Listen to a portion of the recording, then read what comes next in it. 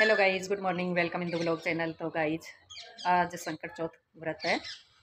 यानी कि गणेश जी का व्रत है, जो कि हर माँ अपने बेटे के लिए रखती है। तो मेरा भी आज गणेश चौथ का व्रत है। तो गाइज़ अभी मैं रेडी होके आई हूँ और अभी हम करेंगे चौथ गणेश जी की कहानी। और उसके बाद मैं सूर्य भगवान को आराध्या दूँगी। तो आप बने रहना मेरे ब्लॉग में। तो गाइज़ मैं हो गई हूँ रेडी अपनी कहानी करने के लिए। आज मेरा चौथ का व्रत है।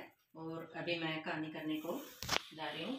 तो जब हम कोई व्रत रखते हैं तो हम ये जो पीला होता है, इसको हम पीला बोलते हैं।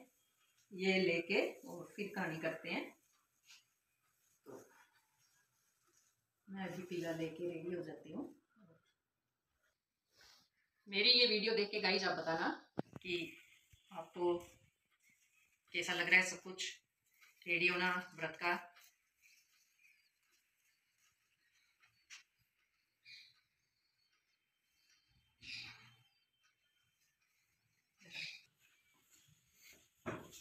मैंने खाने कर लिए और अब ये है जो मैं सूर्य भगवान को रख दे दूँगी।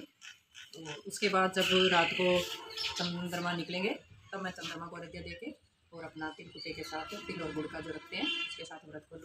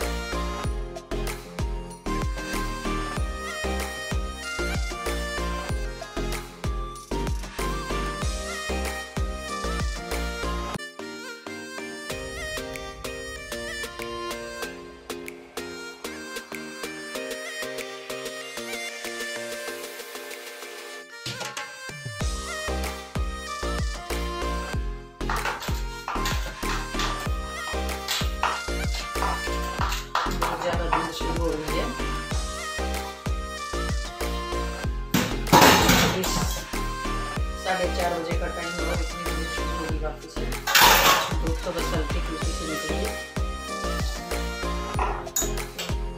तो आज व्रत, आज तो मैं नहीं करते नहीं लेकिन यहाँ चंद्रमा के दर्शन तो तो ही देखते हैं। इतनी ज़्यादा धुंध के चलते आज चाँद के दर्शन तो नहीं होंगे